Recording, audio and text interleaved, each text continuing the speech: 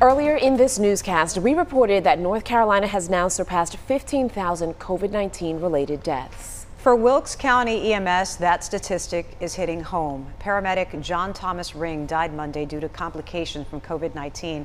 He was only 35 years old. Today, our Ford Hatchett spoke with Ring's colleagues in Wilkesboro about how they are processing this sudden and tragic loss.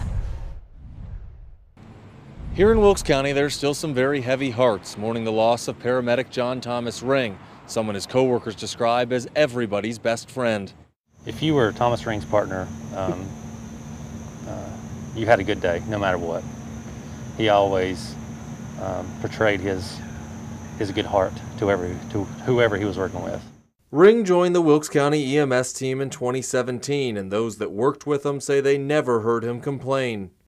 He was just always eager to learn, so passionate about his job. Um, always had a smile on his face. You never saw him without a smile on his face. Ring leaves behind his wife Marty, and his teammates say they've heard from countless people sharing their own memories with Ring.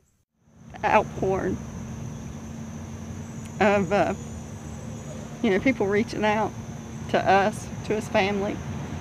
Nurse, has been amazing. Nurses that he uh, he had conversations with at the hospital.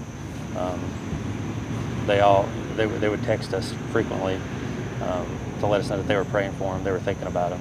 Ringo, as his friends affectionately called him, earned a reputation for having a large sense of humor, and in the days since losing him, his teammates have found it challenging to continue working. It's very difficult, huge loss to our, our entire agency.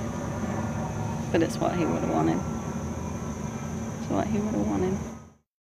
And as they continue to work, his teammates say Ringo's kind heart and warm demeanor will inspire them every day they're on the job.